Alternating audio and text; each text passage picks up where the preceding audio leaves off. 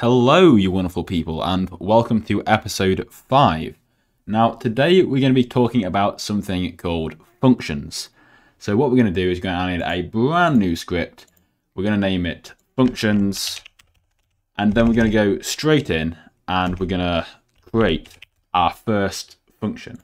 I've done a terrible job of trying to spell out functions there for the name, but there we go, we've named it.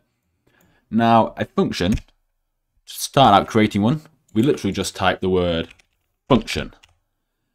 And then we have to give it a name because functions are almost a little bit like variables in this way. So we can give it a name. Uh, I'll just call it my function.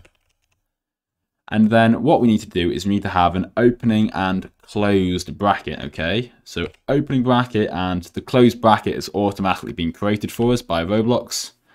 Uh, and as we do so, we notice um, the my function text has been highlighted blue as well. So it's been recognized as the function name.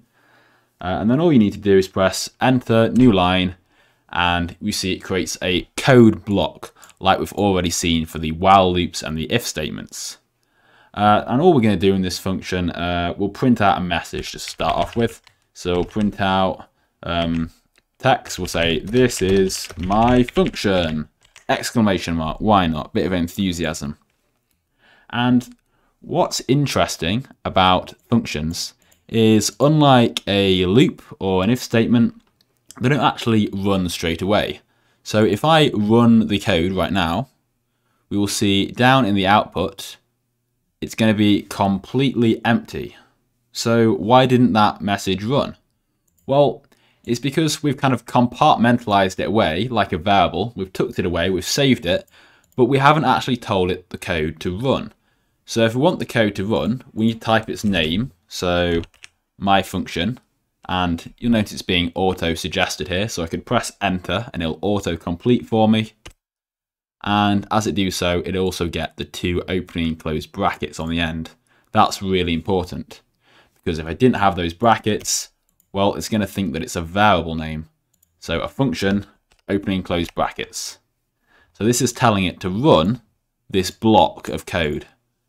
So it's going to go straight to line 5.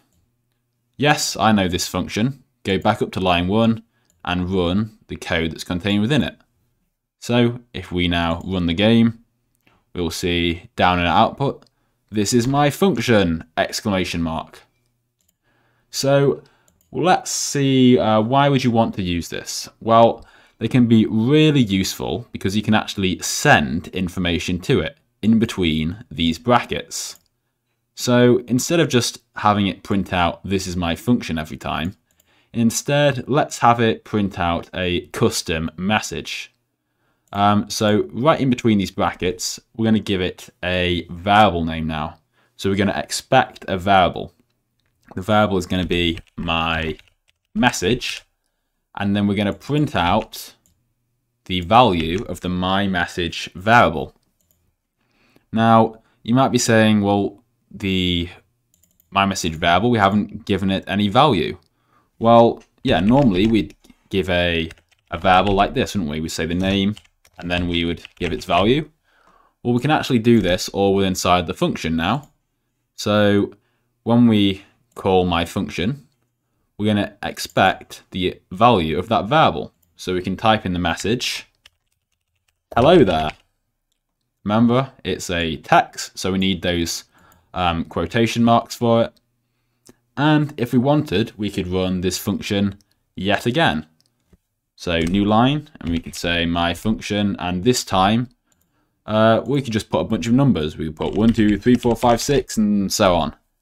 And then if we wanted another message, we could call the function again. And we could say, this is the final countdown. Da -da -da and now, if we run that, we will see all our messages have been printed in the output. And we're not just limited to sending uh, one variable or one piece of data. We could actually send multiple. So let's uh, let's rename our function, and we can call the function now add. And we're going to add two numbers, a and b. Okay, so expecting two variables. And inside the function, we're going to print out uh, adding, I'm going to say a, comma, a string, plus symbol, comma, and b. So we're just going to print out the calculation that we want to do. And oh, it looks like I missed out a comma there, so I'll add another one in. So value, comma, value, comma. And then the next line, we're going to print out what is the result of those two. So I can say A plus B, and we'll add them both together. And now, obviously, my function, you notice, doesn't exist anymore because I renamed it to add. So I can remove these. And now I could type add uh, 10, and the next value would be uh, 22, say. I could add 15 and 197. And if I ran both of those in the output, we would see adding 10 plus 22 is 32. And adding 15 plus 197 is 212. So there we go. You can see I'm reusing code now. So it's uh, a lot quicker to do and you can just glance at that and you can see I'm adding them together. So that probably brings us about to the end for this video.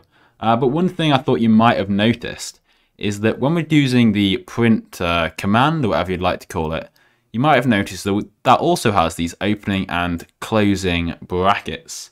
And that's because the print statement is actually a function itself.